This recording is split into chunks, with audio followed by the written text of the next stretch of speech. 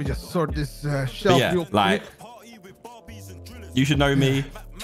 Love all the CG boys. Oh, man, this is oh, a, this is a a fun, it's also a fun day art today, that we can be on the come up, Indeed. and we can But, uh, I have, um, like, a lot of games. distance from CG, who are like the, obviously the most powerful gang in the city, and it allows us to have our own little avenue.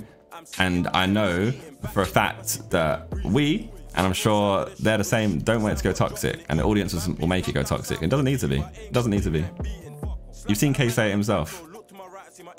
It's just something different.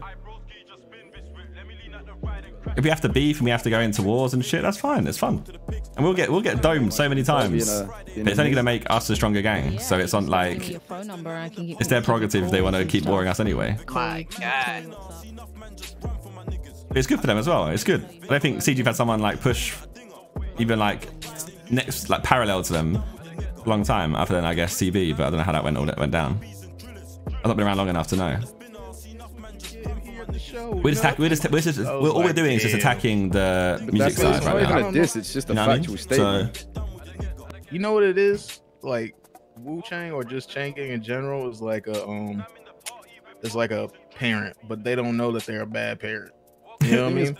It's, bro, it's like Wu Chang, right? Is a company, right? It's a label. So they, they've got a payment system. That's like me getting on a rap and complaining about the fact my Amazon refund doesn't come through yet. And then Amazon uh, beefing me, bro. yeah, just just know that. I mean, I got what five million streams on Spotify, and I got 10k after I begged for it. Oof. So you know why we're here. Hey man, you know why I'm here. It's not about it's not Yeah. about music anyway, man. Uh, Not about money, but sorry, it's about music. Yeah, I just We got we got good shit. We man. got good shit going on over here.